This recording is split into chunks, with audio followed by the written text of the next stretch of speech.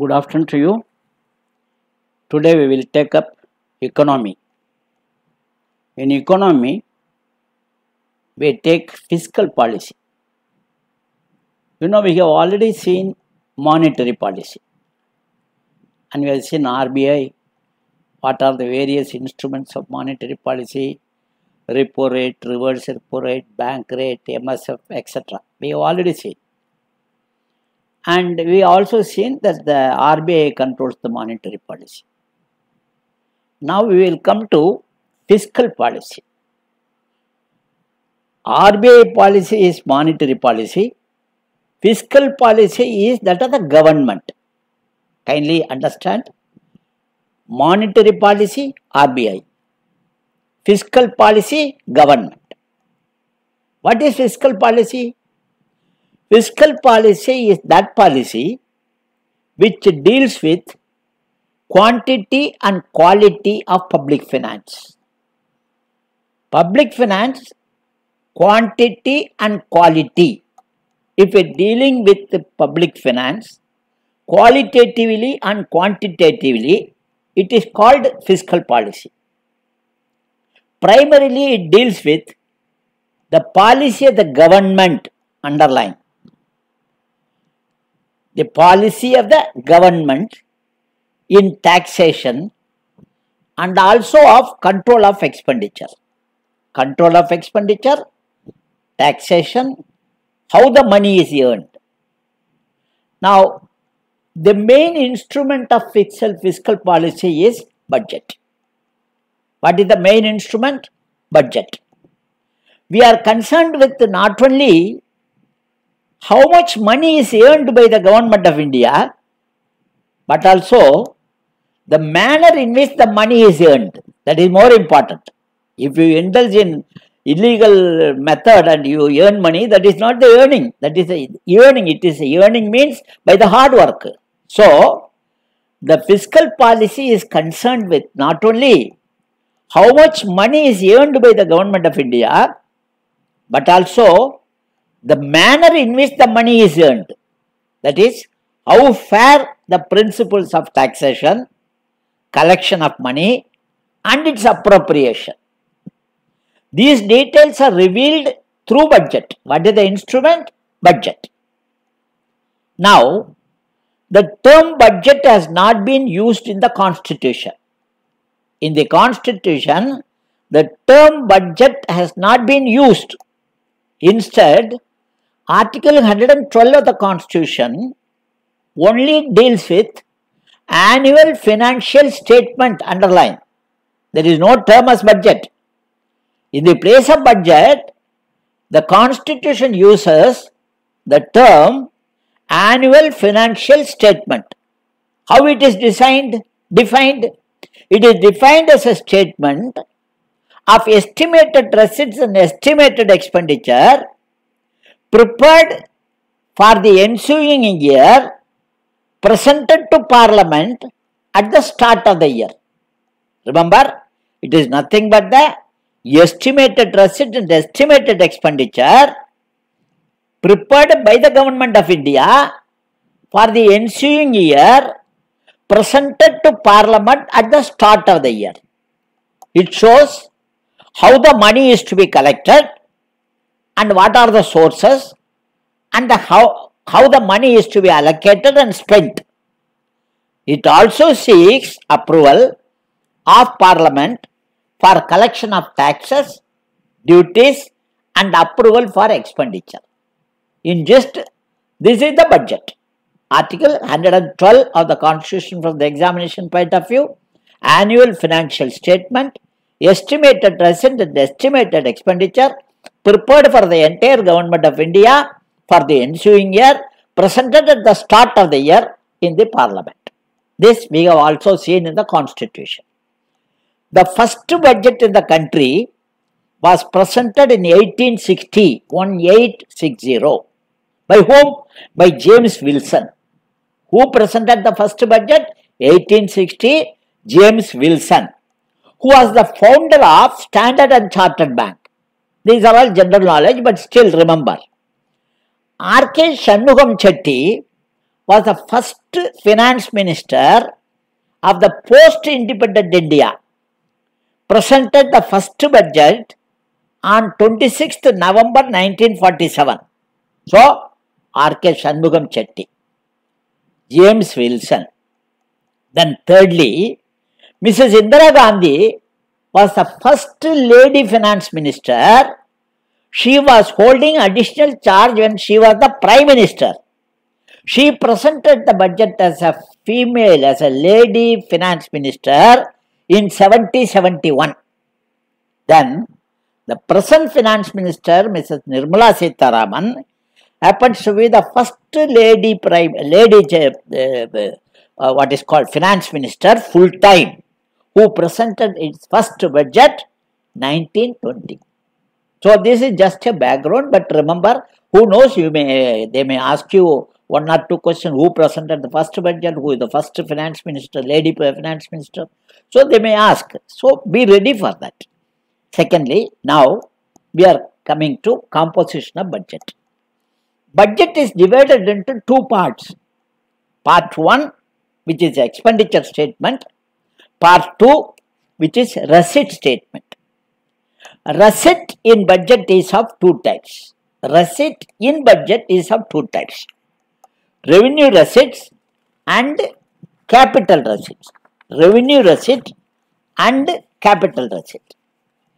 Revenue receipts are current receipts because it will undergo change next year. What is the present receipt? That is the called current receipt. That is the revenue receipt.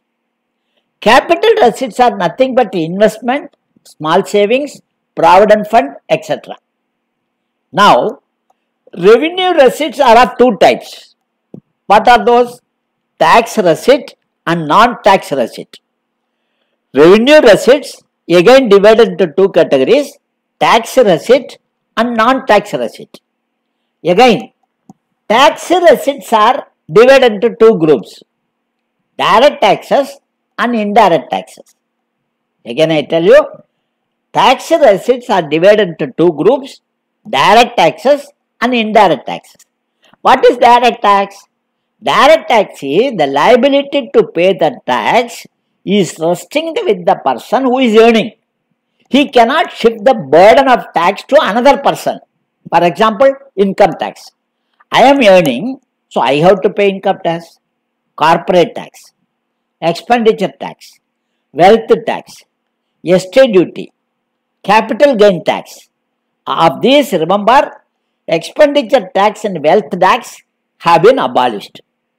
So, in these, the liability to pay is with the person who is earning.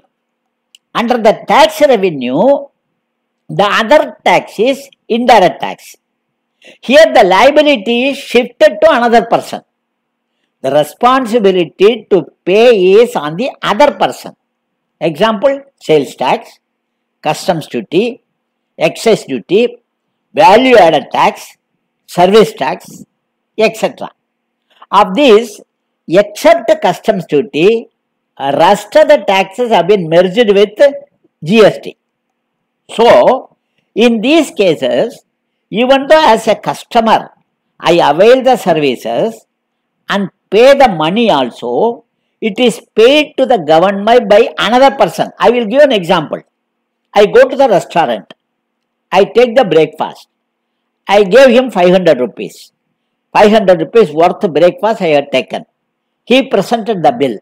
I saw the CGT, central government uh, GST, CGGST 5%, another state's GST 5%, total 10%.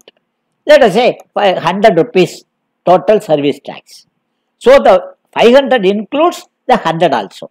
So I paid 100, 500 rupees. Now remember money is paid to the hotel or restaurant and that restaurant person will pay the money to the government. So that is why this is called indirect tax. Now direct taxes, who is controlling? Central Board of Direct Taxes. Who is controlling the indirect tax? Central Board of Indirect Taxes and Customs, CBIC, CBDT and CBIC. Now, another category of revenue receipt is non-tax revenue. Remember, tax we have seen, Now, second category of revenue receipt is non-tax revenue. These are not actually taxes. For example, number one, interest receipt. We have given loan to some country and we are getting the interest. Dividend and profit. Some public sector undertaking is making profit and their part of the share is given to government of India. Fee and fine which includes charges levied on stamp duty or the penalty uh, imposed on a person. Let us say I uh, cross the zebra line. I have been asked to pay the fine of 500 rupees. Traffic police. This is the fine or penalty. Then external grant. Some country is giving free assistance. No interest is paid nor it is returned. This is called external grant. Special assistance receipt. Supposing there is no hire, inheritance is not there. So that property comes to the government. This is called special assistance. All these things are non-tax receipt. So understood?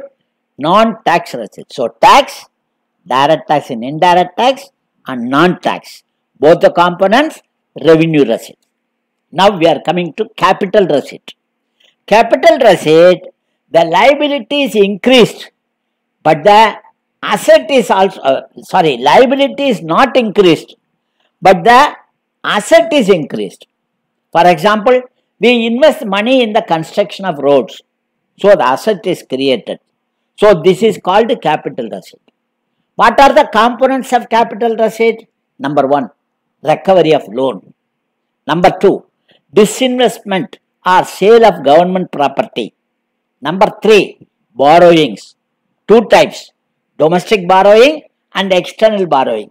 We commonly call this as market borrowing. This is very important. Note for a future reference. I will tell you why it is important. This is called market borrowing.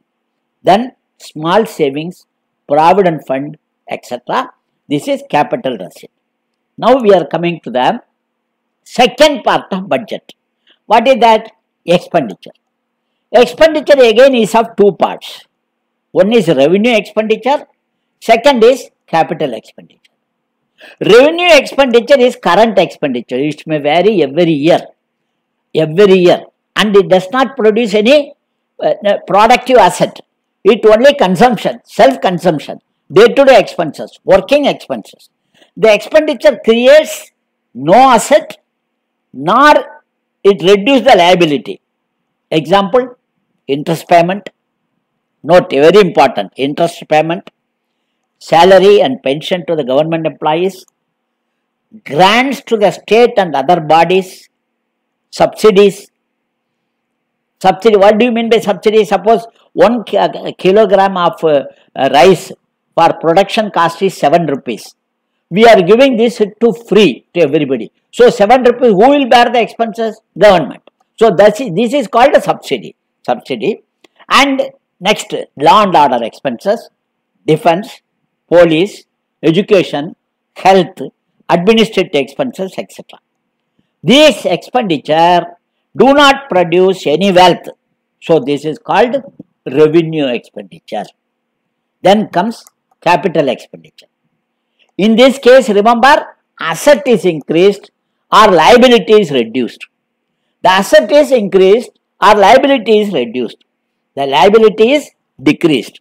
Example, construction of roads, construction of bridges, purchase of land, machinery, investment of investment in shares, loans to other governments or state governments or foreign governments, repayment of lo loan that is remember repayment of loan that is repayment of interest is revenue expenditure whereas repayment of loan is capital expenditures. See the difference. Repayment of interest on a loan is revenue expenditure whereas repayment of loan is capital expenditure. So we have seen the components of budget revenue budget and capital budget under revenue budget, we have seen revenue receipt and revenue expenditure. Under capital budget, we have seen capital receipt and capital expenditure. Now, how do you prepare the budget? This we will come in the next class. Thank you.